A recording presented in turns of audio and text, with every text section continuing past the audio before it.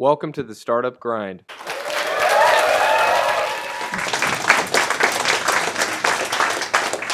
should be thanking you. It's 15 degrees in Wellington today. Yeah, it's definitely not that here. Um, so, and yeah, the other tradition with Startup Grind is to start right at the beginning um, and ask you where you're from, uh, what your parents did for a living, and what did you want to be growing up?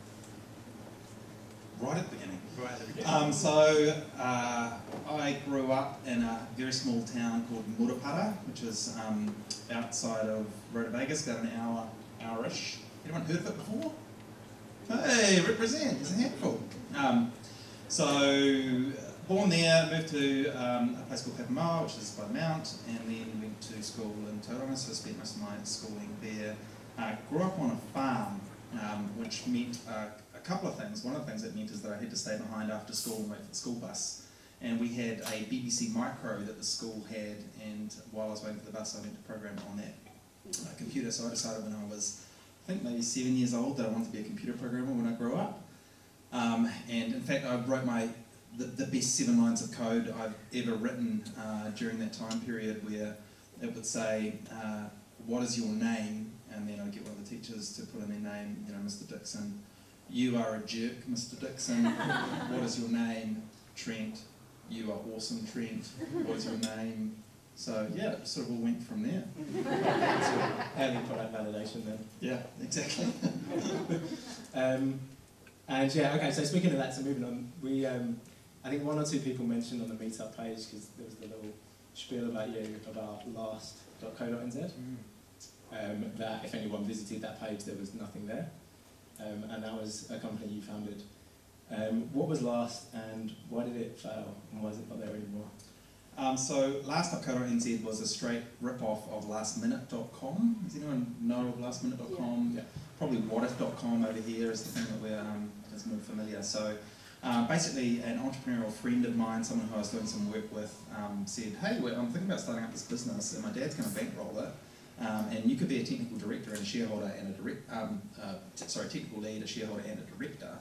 Um, are you up for it? And I was like, sure, it sounds like fun and interesting. And um, so we spent the next kind of 18 months working very, very hard to, um, to write all the code to build and, and build this website. And uh, we made some classic mistakes, you know, kind of uh, computer science 101 stuff where we just, the scope just kept creeping and creeping and creeping. Like, hey, why don't we do distressed stock and why don't we do last minute events and last minute accommodation and kind of one thing after another after another. And, and so we never launched. Um, we never got it off the ground and about 18 months in, um, sort of had had enough, to be honest. 18 And- months. yeah, it was about 18 months and kind of 18 months of working every weekend, right? Those of you who are in startup land know what it's like. It's not, and I remember at one point I was in a uh, business kind of incubator in the, in the railway station in Wellington and I was looking down on all my mates walking to the one day cricket along the concrete concourse towards the Westpac Stadium and going, is this really worth it? uh, no was the answer. but I mean, the good thing is I didn't lose my shirt, right? So it was uh, my first failed startup um, and lots of lessons learned, but um, didn't come out of it bankrupted, whatever I was, 23, 22. So, first lessons learned, you mentioned, like, what was the, how, how did that experience kind of shape, uh, like, obviously you, you stuck at it, so what was afterwards, like, what did you come away from that experience? One of the one of the main things is um, when you start a business, uh, you've got to be involved in everything. So what I did was I just shut off from the business side of things and went, oh no, my mate, he's the entrepreneurial dude and he knows what's going on and I'll just let him drive what the product is doing and kind of, you know, the things that we should build and be working on. So, um, and I just sort of just left that to him when I sort of realised afterwards that when you, again, you're starting a business and there's only a couple of you, you've got to be in everything.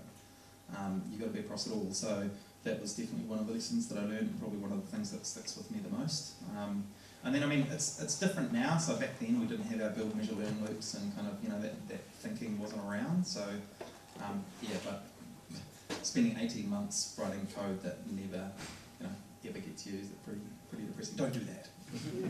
Any of you work for 18 months and not? No? Sorry, I thought you put your hand up. Sort of, Yeah. sort of, a couple of sorters, yeah. What a waste of human life. Yeah, totally with you. Yeah, um, I mean, you mentioned, obviously, that was before um, the kind of lean startup and the, the build, measure, learn loop and stuff like that. Um, how long ago exactly was that? Whoa, um, that would have been two, 2001, 2002. Sweet, cool. So I mean that's it's quite a way back. Like, and um, obviously you kind of came out of that then with a few different um, a few different experiences. It didn't completely turn you, you off the idea of owning a business. Where did you go straight after that? Like, did you? Um, so there was sort of this in between period, so kind of when Last was fading away, um, uh, my mate Jono helped me out with a gig which was sort of contract programming with Surf Life Saving New Zealand, so that sort of um, got me a little bit of money in. And about that time, that's when we decided to set up Optimal. So um, I was actually hired into the grad program at Unisys in 2000 and met um, a, a friend there called Sam, and we ended up um, flatting together and kind of always talking stuff and nonsense. And this is back in the days when um, Rich Dad, Poor Dad was a thing.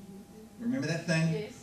Um, so we were all, everyone in the flat was reading that book, and we are kind of, yeah, we'd talk about it and think about business ideas. And um, and then I had a real interest in human-computer interaction. Um, that was, despite kind of my early years in working with computers, we never had a computer at home. So by the time I got to university, I was, you know, I was never going to be the whiz kid programmer that some of the other people were because they've just been coding since um, on computers at home since forever. Um, but I found a real niche with this human-computer interaction thing. I loved it, just the psychology and how, how human beings work, that you can see movement better out of the side of your eyes and colour better out of the middle. It's fascinating to me. So I sort of really got into that human-computer interaction. So I'm talking through that stuff with my mate Sam, who's got an industrial design background, and of course you don't design a chair without figuring out how tall the average person is. Um, we kind of thought, well, maybe we could start like a usability company. We could do user testing and that sort of thing, which I'd had a tiny bit of experience with at university. So Because that was quite rare, like really rare in New Zealand at the time. Yeah, it was wasn't. Um, so there was a handful of university um, usability labs, but there was very little done commercially. Um, so yeah, it was pretty new. I mean, we were the value proposition was ridiculous. We were a couple of kids in our twenties would go into large organisations and say, "Why don't you give us a whole pile of cash, and we'll tell you how shit your website is." and we've never done this before, um, so it's sort of as a unique selling proposition. Sort of shouldn't work really, but it was. That's one, another piece of advice for those of you who are thinking about um, startups. Just passion just counts for so much. So when we um, back in the early days, we got um, Victoria University as a client, and uh, that was that was pretty massive. That was a real you know seal of approval, and they really just hired us because they could see they could see the fire in our eyes and knew that would work all day and all night for them. So um, so they hired us to do it, and then yeah, things started growing from there. Because it must have been tough as well, like, like we said, it, wasn't really that well known here, like user experiences now. Um, how did you come about with those first customers? Like, obviously the passion and the drive, but where did you find them? How did you know that, that oh, we need to speak to these people? Um, so we we did everything we could to kind of educate the, the market, I guess. So every possible speaking gig we went after, we tried to list every possible association, the library kind of lunchtime meetup. You know, they didn't have meetups back then either. Man, I'm sounding old. Um, so we, uh, and in fact, New Zealand Computer Society, we did a talk for them in Wellington, which was which was kind of a you know this size group. So that was a pretty big deal for us back then. So we worked pretty hard at educating the market. I guess we would um, try and talk to journalists. We would um, we were all doing it all ourselves. We didn't have any. We didn't know what we were doing really, but we kind of figured that's how you, you went to these kind of events. We did everything. In fact, we would we would we would talk with anyone who would meet with us. To we would do stupid stuff like show them our business plan and kind of. Um, I remember approaching Air New Zealand way way too early, and he was like, oh, "I'm doing this for as a favour," and you know, you're so cute. Um, and then you know, it wasn't for a few years later until we got Air New Zealand as a client. Um, but yeah, we just just went after everything. Yeah, okay. So, um, and I mean, in terms of, you said like educating the industry, and um, did you, who kind of bankrolled it? Did you guys bootstrap the idea yourself pretty much? Like, we'll, we'll fund this ourselves and see how far we can take it? And, Um, and what was the, what was the kind of vision that you wanted out of it? Like, where did you see it going? uh, so if, if you saw it going. Yeah, no, we did. We were quite ambitious back then. So um, we we bootstrapped it ourselves. So um, Sam, because he's crazy, um, pretty much got married, got a mortgage, and um, and started a business all at the same time. So his wife bankrolled him.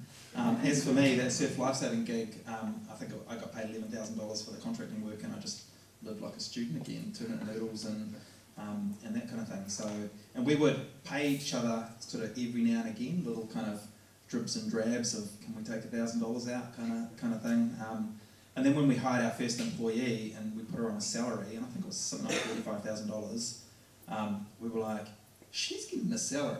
Like, shouldn't we get a salary? Uh, and that was the first time that we paid ourselves was um, was when we hired an employee, which by the way was the most freaky thing we've ever done. It's one thing to kind of you know be running a company, you and a mate, and you might drive it into the ground, and it's your own livelihood. Um, it's a completely different thing when you're hiring someone else, and it's, you know, it's their life that you're playing with. It was, uh, that was a very felt like risky and freaky and scary thing to do. Um, so that's the first uh, uh, part of your question. The second part is to where we had a vision. We did write a business plan. We left it probably about a year, which was probably quite a good thing. It was um, this beautiful um, sort of 90-page piece of creative writing. You it was awesome. Um, but there was one little table in it, which was like, you know, optimal in, you know, five years' time, ten years' time. I can't remember what the time frames were. And it was we were like brainstorming there, right? Like we'll have we'll have three offices. Yeah, yeah, yeah. Um, and then we look back on it, and like we did a lot of that stuff, and kind of um, you know ended up going into Australia, ended up sending out spinning out a product company, and kind of we, it's not like we kept that as our guiding light and something that we refer to every day, but it's sort of weird what happens when you write down a vision or a set of goals, and you kind of almost get there by default in some ways. So, so pulling back, uh, like for anyone that doesn't know the, the kind of optimal um, story, so, so pulling back to you, you hired a few employees. That was when it got serious. It felt like it was it was kind of um, more than just you two. Uh, when was it that you actually decided, okay, we can push this and open up a second office? Um, yeah, so we made $30,000, $36,000 in year one and made $350,000 in year two, and it kind of just went from there. So it was pretty, pretty quick snowballing. Um, in 2005, I was um, bored with my flat and bored of Wellington, and that's when we decided to set up an office in Auckland. So it's like, and I encourage you guys to do this. Like sometimes it's not about kind of pure business decisions. Sometimes it's about like where do you want to go in life and what's you know follow your nose. And so the funny thing is, we set up here with a, a few big clients. We had um, BNZ, Auckland University, and um, it was Vodafone um, or Extra. And and we thought, well, it's going to be easy. Know, I thought it was going to be easy. I've got mates up here, kind of um, we were sort of connected in with the incubator network, so we kind of ended up moving into um, Icehouse for a little bit.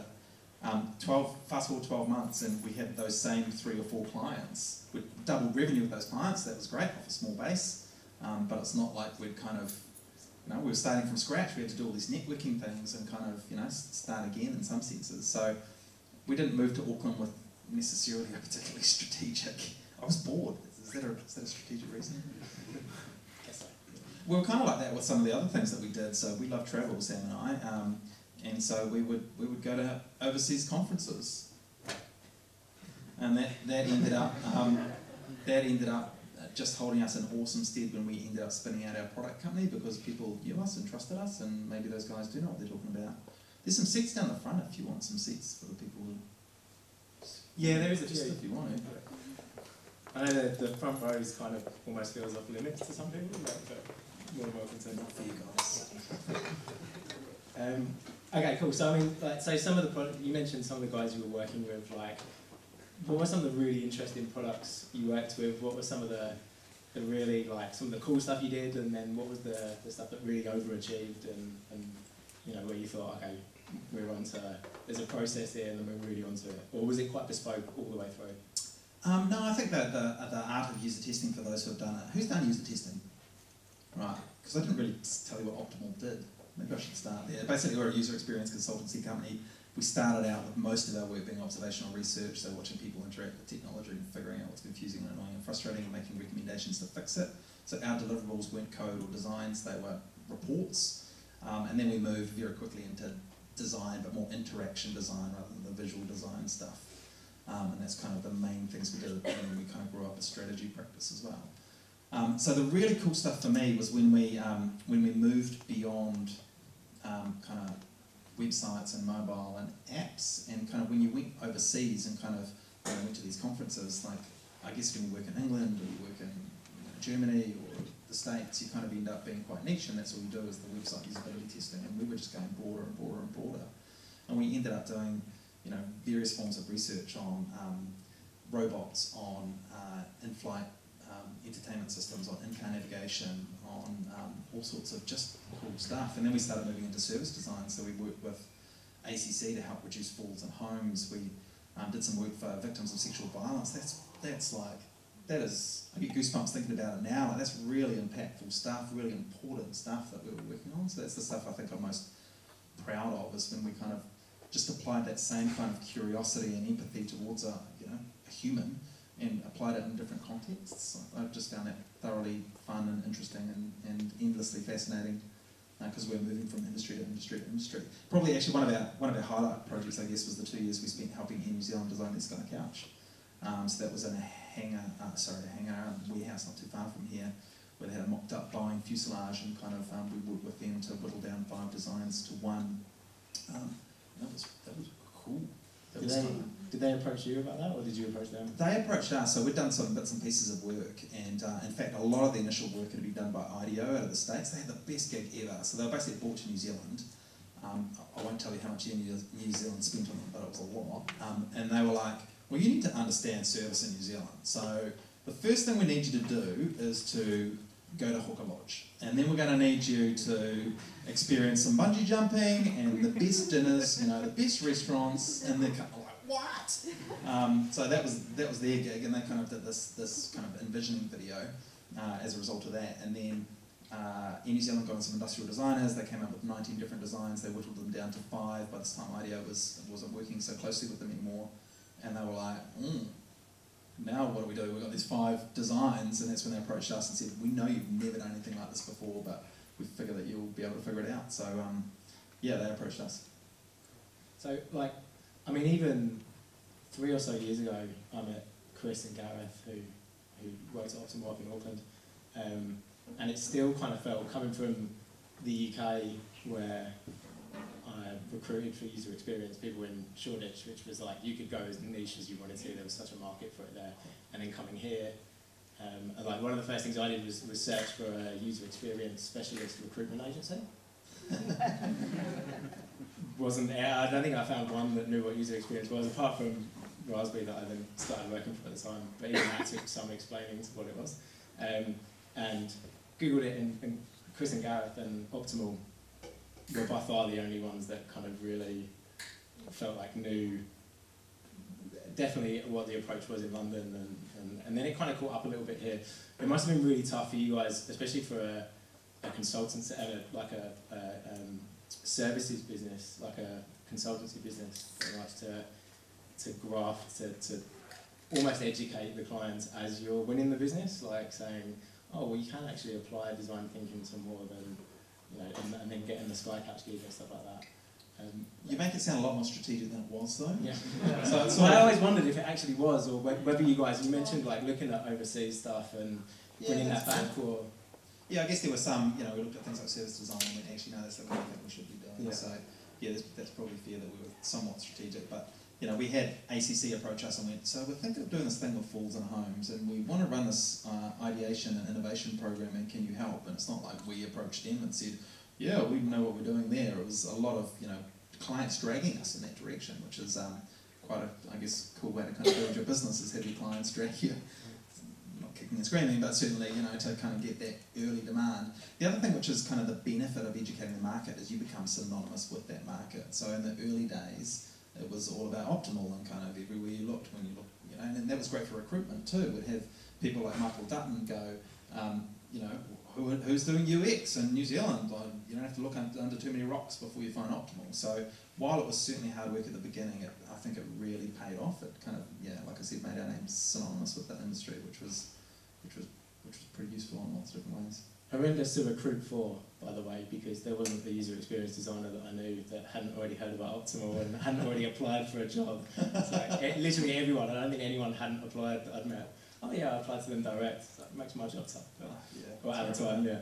Um, okay, cool. So, for like I said, for anyone that didn't know the story, Optimal it got to four offices. You had or Ah, three. You're Three three, offices. three and a half.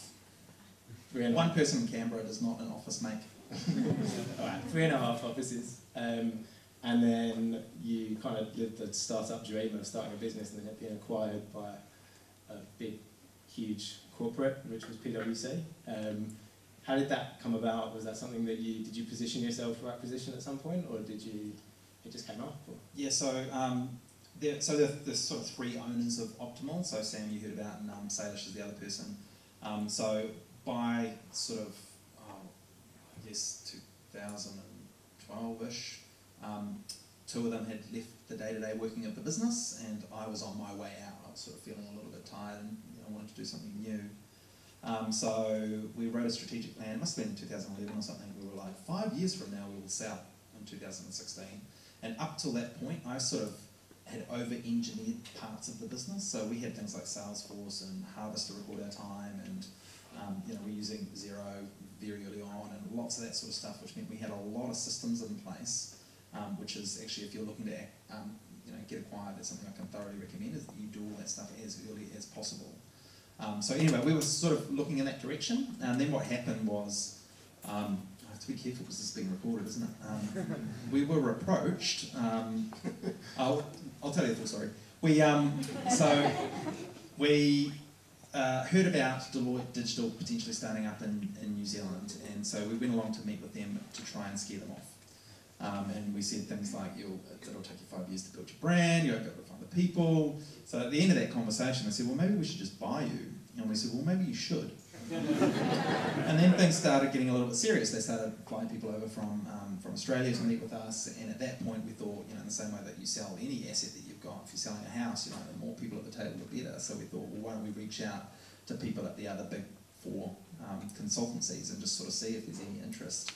Um, and there was um, from two other parties, so one of those parties was PwC, and then um, we had the joy of running an RFP process. You know, we're so used to as a consultancy being on the other side where we have to put in proposals. Where we went, okay, here's we'll give you this information memorandum. Here's all the high level details of our business, um, and we need your responses by this date. And any questions you've got, we're going to send to all the other parties and kind of. So we ran this process and kept it quite tight. We gave them very little time actually um, to respond, and it was by far and away um, PwC were the best fit uh, for lots of different reasons. So the answer to your question is um, yes, we were kind of positioned in that direction, but also there's this saying that you know, what is it? Companies don't get um, get sold; they get bought. You know, you have to be. there has to be someone on the other side of that transaction, so you've got to be in the right position at the right time, um, and that's what happened with us. So you had you, you mentioned as well you had the product side yes. as well. So, so there was a few other sort of spin-offs from Optimal as well. Yeah, and I should be clear that that business is not owned by PwC. That wasn't part of that transaction. So what they bought was the consulting um, side of the business in Australia and New Zealand. Which is now it was it was rebranded PwC Digital. That's right. As well, yeah. So so the other spin-offs were there was Optimal Workshop. That's right. Um, which was. So that's uh, um, basically software tools for usability geeks. Um, but that's uh, in in some ways uh, a, a more interesting kind of business. It's um, 90% plus of its revenue is offshore. It's your classic SaaS um, kind of business and, and a, a, customer list that's amazing. And, um, and, and, yeah, so that's sort of a much more classic product startup. Um, and seven years before we got a profitable, you know, just a hard, hard graft. Much easier with a consultancy business with you know dollars for hours. Um, yeah, we probably put about six hundred thousand dollars of our own money in that. Um, so just it's hard if you're doing a product. You should do a product company. You should do a product company. Who's doing a product company? You should do a product company. it's going to be hard. so how did it how did it come about? Like, what was it? Was was you involved heavily in the start of that? Was it that you identified that there was a? Um, yeah. So in in 2000, this may be too much detail. I don't know. In 2005, BNZ approached us and said we want to do some card sorting. Uh, we, which is where you kind of sort groups of content and functionality, um, little bits of them into groups, and then you name those groups, and you do that lots of time, and you get a sense for know, how people think about classifying information, and therefore hopefully design a site structure that meets that. Um, so they wanted to do this card sorting gig, um, and we looked at the tools out there. We wanted to do it online, and because we're researchers, we wanted the raw data. We didn't want this, um, you know, they called it dendrogram. Basically, you do this kind of analysis and come out with this pretty picture at the end. We didn't want the pretty picture. We wanted to get into, into Excel. Uh, there was no tools out there that did it, so we thought um, we asked our mate uh, Andrew Mayfield to, um, to who was with, um, with us at Creative HQ, business incubator in Wellington, to build the tool for us in a weekend. Um, he took a week, you know, classic IT overruns. Um, and we rolled it out, and two or three thousand people completed this card sort. And we thought, shit, this is actually pretty interesting. This might be something here. Um, and we kept using it for a few years. And in 2007, we decided to spin it out as a separate company. And that was partly because Sam was bored. So Sam, who I started the business with, was like, this consulting gig is perhaps not for me. I, you know, I've always wanted to do a product company. Maybe I'll be the boss of that product company. And so, because Sam was bored, bored, we decided to um, spin out a product company. Good reasons, eh? Yeah, we look like geniuses now, but not for the first seven years we didn't look like geniuses, but I think that's one of the answers that everyone was hoping for, though. No one actually says okay, that. we don't know what we're doing. No one knows what they're doing. It's acceptable. It's okay. Um, all right. So, so then, obviously, since then, you, you've gone on to. Um, I I think the gig straight after that, you, you landed was Spark. Was that right? As- Vend. Vend. Vend, So yeah. Vend straight after that. Yeah. Um, so what was that like? That you went in as chief product officer. Yeah, so Yeah. chief product officer there. So I sort of think of product management as the intersection of three circles. So you've got the business circle, you've got usability, users, marketing circle, and you've got the um, uh, what's the third one? Tech, technology. You need to understand technology. So I was like tech background with computer science and all the rest of it. I had the business background with running um, you know CEO of Optimal for a few years, um, and sort of a UX background in spades. So. Um, went in there, very fast growing software as a service business. You're probably very familiar with the Vend story here. So I think I was employee number 40 ish. Um, so obviously much bigger than that now. So um, yeah, one of my first jobs was to, um, I guess, corral the tech team. There was everyone was a little bit gun shy because of inventory apocalypse, which had happened um, three months earlier. So we're doing agile, but hadn't done a sprint in three months, um, uh, partly because of this issue we had with overriding inventory in a database. I mean, it's just a point sale system, who cares? But um, so everyone was a little bit freaked out by that. Um, so yeah, sort of gradually um, kind of got us back on the on the rhythm of sprints and, and um, hired a bunch of people and kind of yeah. So that was that was that was a good time. How did you feel going from from running the business to then going into a, a product that, that most of the product was existing and it was launched at that point, Yeah. wasn't it? Yeah. So um, so it was already kind of out there. What was the um, what was your kind of game plan when you got in there? Was it to, to make your mark on the product or just to just to kind of help it? No, I think I mean I I started out with um, with interviews and I encouraged you who are people who are new into roles. I guess it's my consulting background and kind of you know falling back to type, but um, I just uh, just talked to everyone, spent an hour with everyone, and just went tell me your problems. And in fact, I did that before day zero.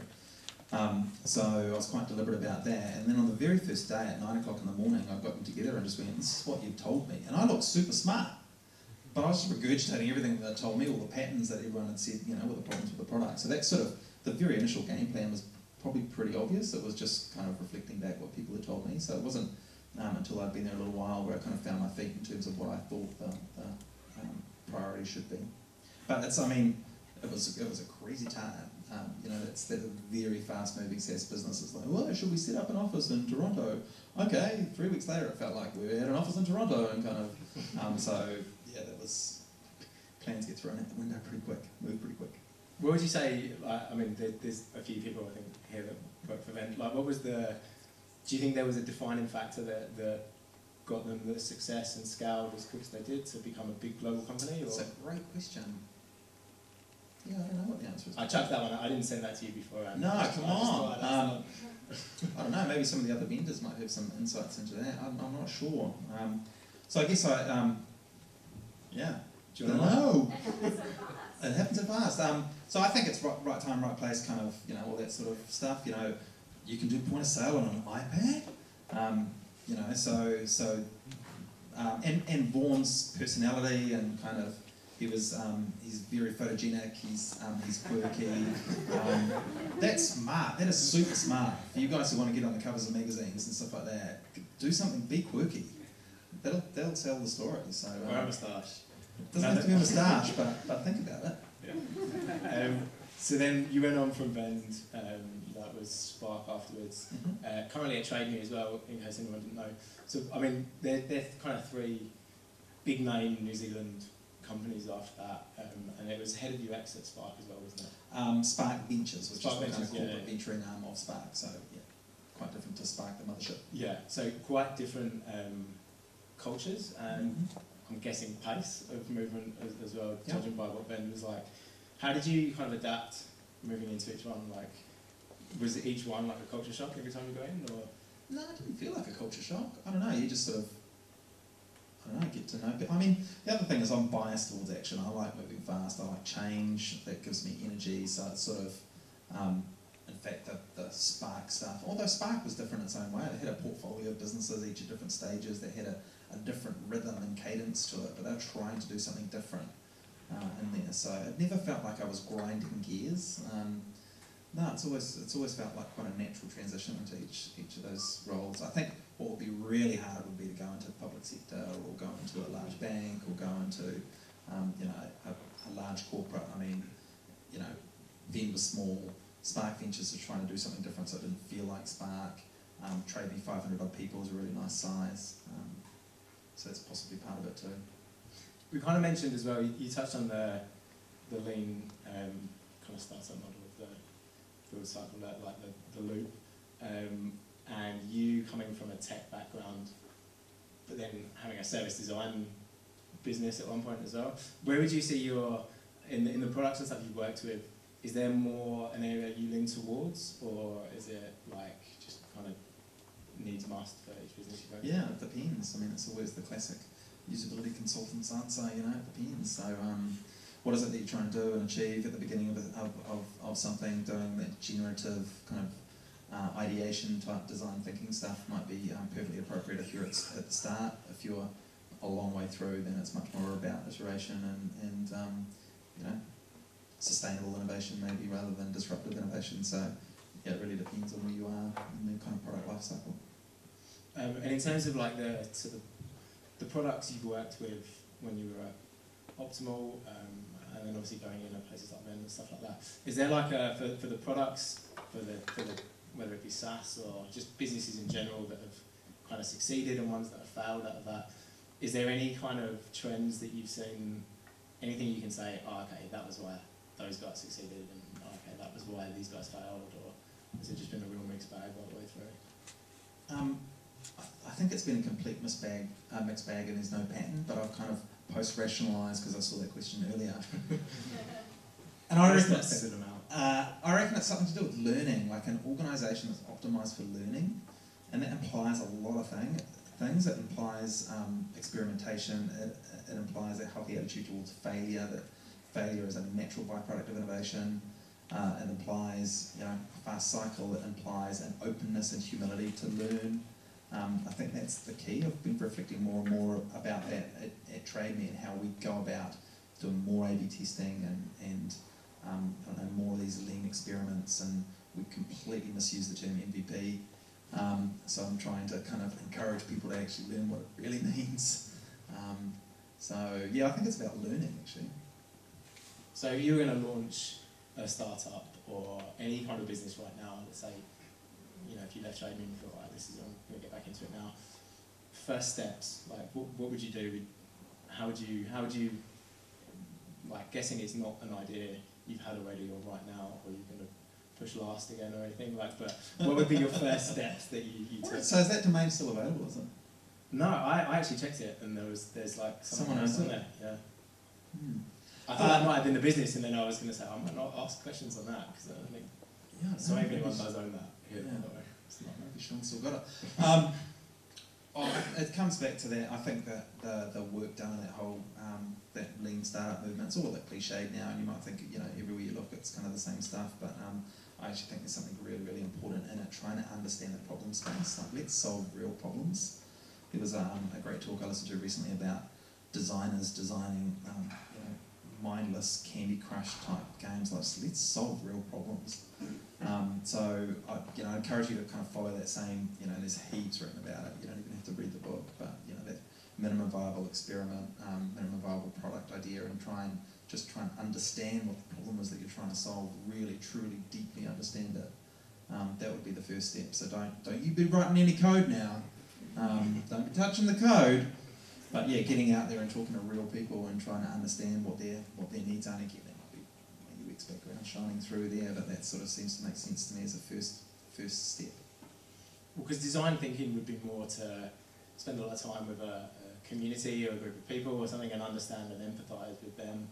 Um, Design thinking doesn't have to be a big thing. Um, so we, yeah, I don't know if people are familiar with the Google um, design sprints that they've kind of um, popularized. Search for it. They've got a book. It's awesome. It's a playbook. Here's what you do on day one. Here's what you do on day two.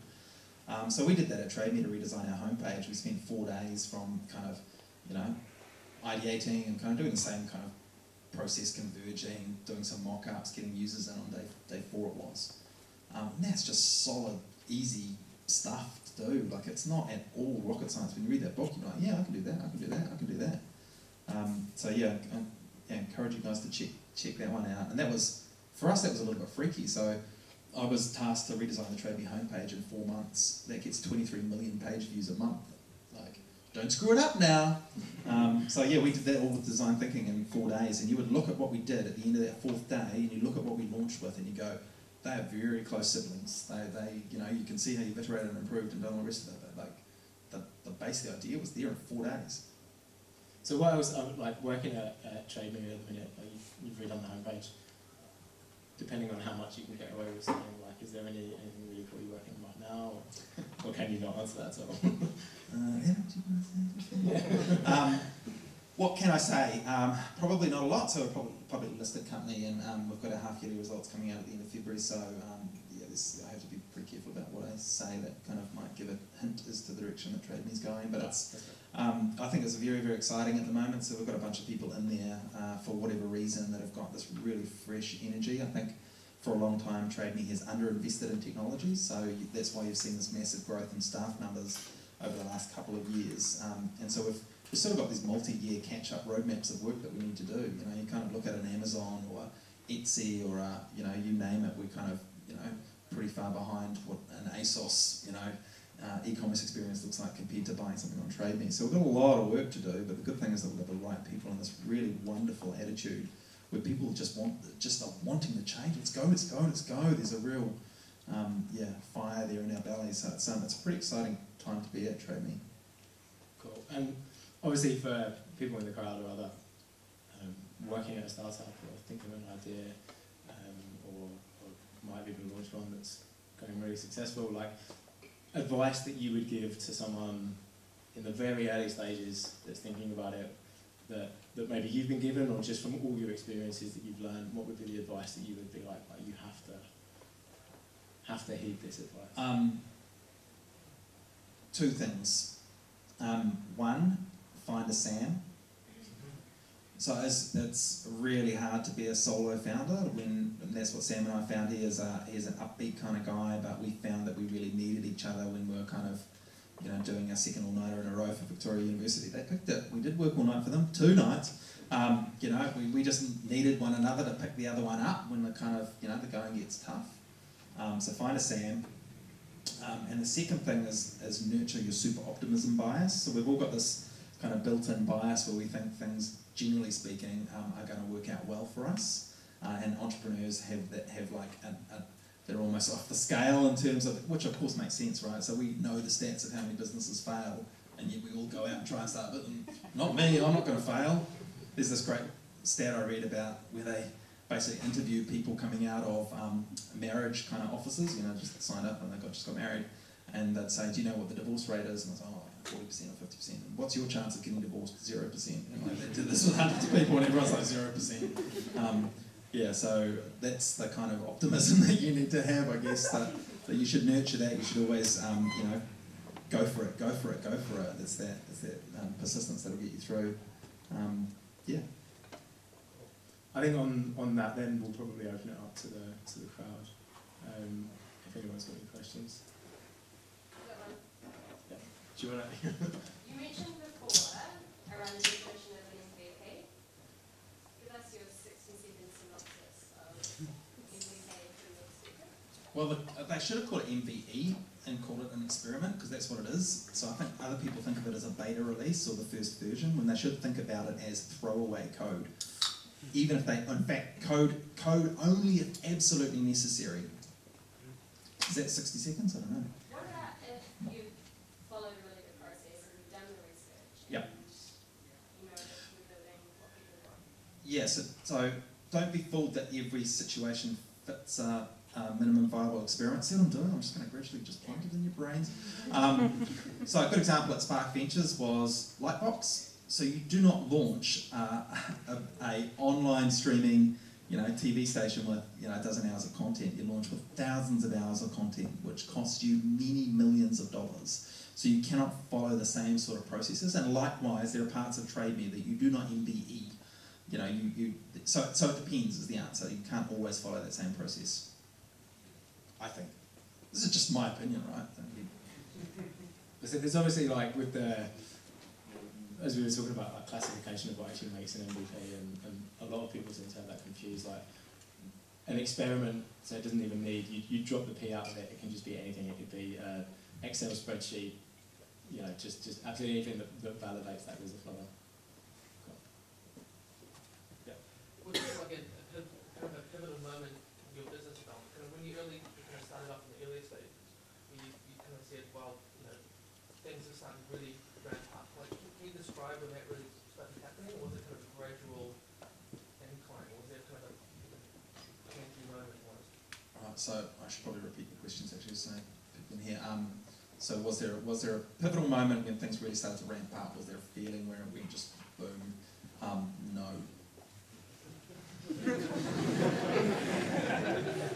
no, it, was, it felt like I mean, probably in the first couple of years where we went, oh, it's this is a business. Like actually, this is going to grow and this is this is a thing. Um, because for the first little while, it wasn't clear that this was a thing and that it would it would survive.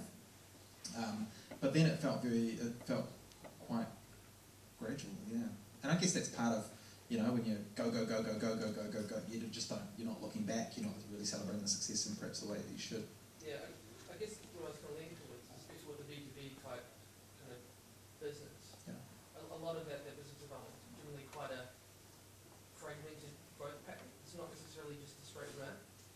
And for some of us, I guess it's been, you know, it takes a long time to develop those, those relationships to get to that kind of snowball status. Yeah, that's that's fair. Yeah.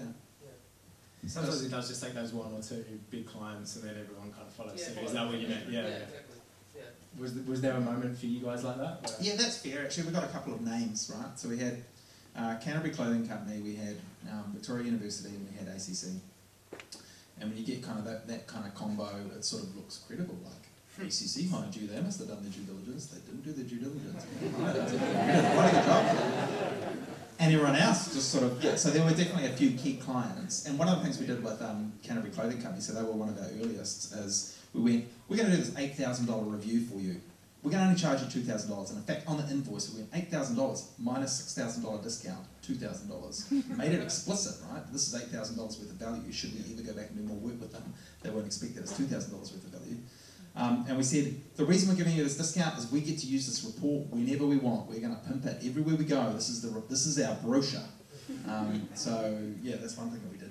I saw something the other day that was similar for like SaaS businesses. Is when you have kind of proved that this is where you go, give like a few big names for free, just so that you can host their their name Yeah, and their yeah. logo on your homepage, and then everyone's like, oh, they're using it. Yeah. So third party validation seems to go a long way.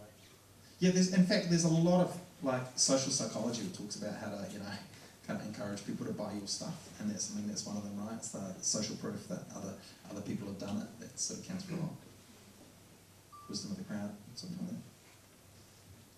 Um, getting bought by a big corporate, um, what was, I guess, the transition like for the business and is there anything you would have done differently? Um, so the question was, what was the transition like being bought by a large corporate, and would we have done anything differently? Um, I so at that point, I wasn't working day to day with Optimal, so I kind of I was a director of the business, but I wasn't. Um, I handed over the reins to a new CEO. Um, so it wasn't on me. So that man at the back has probably got a better insight. You might have to um, corner him later. He's the tall guy in the purple shirt. Um, uh, went through that transition. So.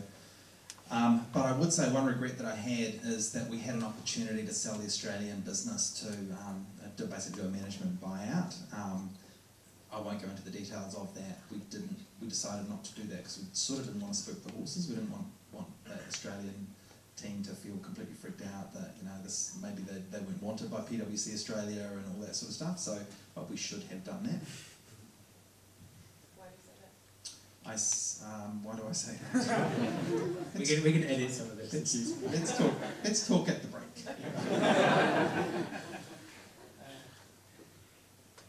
Yeah. Um, so if you have a startup and you're building a product and you don't have a UX expert on board, how would you go about getting the appropriate sort of UX skills around you? So if you've got a startup, you don't have a UX person, how do you get um, decent UX? Copy. So um, there are a lot of patterns out there now. There's certainly a lot of books. There was there's a there's a real grounding there. The other thing I'd encourage you to do is do some usability testing yourself. It is not rocket science. You, what you do is you give someone a task, you sit back, you watch them, you shut up, um, and you write down what they do, and you do that across multiple people, and you look for the patterns of, of things. And Sam Morgan used to do that back in the day with TradeMe. He would did launch TradeMe Motors, and he would sit down with his wife and say, "Find a car," and kind of shut up and have these, you know, five item bullet point, you know, next day fix this. So it's don't don't overthink this whole UX thing. But yeah, I'd encourage you to. Uh, I mean, copying is dangerous in itself. You know, there are reasons why patterns work in different contexts. But if you don't have um, anything else, don't reinvent. You know, the word login. Don't you know? there are there are standard places where search bars go. There are standard ways to do tabs, and you know, yeah. You seem to have a lot of clients, but did you ever work with public sector? If you if you didn't, what stopped you to do that? Um, so did we ever work with public sector? If not, why not? Um, about 30 to 40% of our revenue is public sector.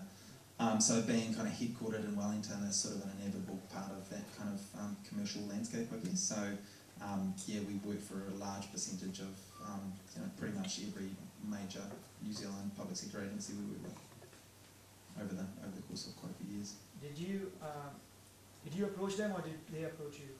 Oh, it was a real mix. We didn't. Um, uh, yeah, it, it depended. Sometimes there were RFPs. Sometimes it was kind of. Um, we had a very long-standing um, relationship with ACC, so they were some of the, the best, most fun people to work with.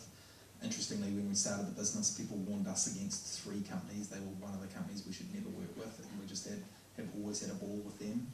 Um, so yeah, it really depends on. Yeah, but it's, it's no, it's not that different to corporate. The only thing is that sometimes they have to follow procurement rules, which are out there. So. In terms of the differences with the design process and stuff like that, then like there's a real there's strict guidelines to follow, or were you given free reign, or Oh, I think um, so. We were we were never, and in fact, that was one of the secrets of our success. Is we would go in and talk to a client and say, "This is what we don't do. We're no good at brand. Don't ask us to do the, you know, really high end visual design, you know, that kind of stuff." Um, so we actually were really comfortable working within brand guidelines and things like that. That was actually our kind of our sweet spot. You know, it was when BNZ came out and said, "Design us a credit decisioning engine, and it has to be in Lotus Forms." And that, you know, one of our interaction designers was like, "Oh yeah, how the hell am I going to do that?" bring it on. You know, that's the kind of um, uh, yeah. So we were quite comfortable working within guidelines. Was that the question? Or? yeah, pretty much. Yeah, I mean it was just yeah, it's um, the, a, a spin-off question from that as well. Just um, obviously you you working for when you were with Optimal, when you're working with these clients, and a lot of the times it was saying, well, sometimes from what I gathered, um, it was saying, hey, you should do it this way, and then sometimes it would never be done that way. Yeah. And, and that kind of frustration that a lot of people would feel working in a, a consultancy or an agency or, a, or that sort of business, um, to then going and working on products where you were the one tinkering with it and you were the one making the decisions. How was the transition between that? Was there one you enjoyed more, or I'm guessing probably where you had the say in it? Um, yeah, I think it sort of comes back to empowerment, right? So a sense of control and you know autonomy, mastery, purpose, that kind of stuff. Um, but don't think that me as chief product officer of Trade Me that I um, you know tell anyone how a, a drop down list should be or anything like that. So it's um, it's not I'm not necessarily getting into the detail of the products either. Yeah. Um, so it's good. Yeah, um, you mentioned your the goosebumps effect you had working with some of those social change Yeah. projects. Um, have you got plans, or would you like to do any more of that in the future? Or Um, me personally, yeah, Yeah, so I, I yeah, absolutely. Why, you know, let's let's like I said, let's work on the big problems. any particular areas you're? Um, I'm, I'm, I'm kind of interested in in wealth inequality, and I think that um, some of that comes back to a lot of that comes back to education. It sort of seems to be the seed of it. So I'm just not I'm haven't figured out what all that means yet, but it's pretty interesting to me. anyone else? Cool. I might have missed this because, sorry, I turned it a little bit late, but um, when you said about Why were you late? uh, just playing table tennis back at the office, It's good enough, is it? We'll take That's, probably that's probably fair, isn't it? Yeah, that's- It's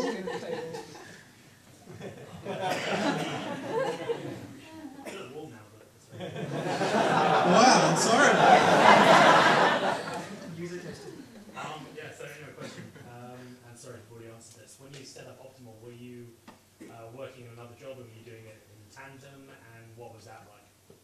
Um, so yeah, sort of doing it in tandem. So we sort of had a well, sort of. We, we it wasn't the, the, the, the slow down and burn up was kind of the crossover was actually not that long. Um, so our first ever gig was uh, October 2002, um, and we kind of incorporated as a company in February 2003. Um, but we've been sort of tinkering, I guess, for a few months before that October. Um, and yeah, for the first yeah six months of the company, sorry, I'm crossing all my timelines um, we were sort of working on other bits and pieces. So. Sweet, I think that's good. Um, yeah, awesome. Like, it was a really good talk. So um, we've managed to we've managed to wrap this up like pretty well in terms of timing. Um, so we'll probably have a, a sort of networking session. I'm assuming there's some beers left. I, I can't see, but there is. Awesome. Um, so yeah, feel free to stick around. We do have to be out, as Eva said, uh, around uh. Well, actually, bang on half eight. So, um, thanks a lot to the sponsors as well tonight. So, um, Braintree, um, Garage Projects, obviously, uh, Pixel Fusion, as well as Fuel guys here, um, chucked in for the biz. Uh, the Grid, as ever, for, for hosting us. Um, and Hot Ventures as well. Um, I had to say, to do that. Um, but yeah, thanks a lot for coming, guys. The next one is already on sale. Tickets are on sale. So I was really, really stoked this one managed to set up. Like, I actually, I spoke to Eva maybe a week ago and was like, we should definitely set a goal this year to like sell out an event for 100 tickets. Didn't think it was going to be the first one. Um, yeah, so thanks a lot for coming. So,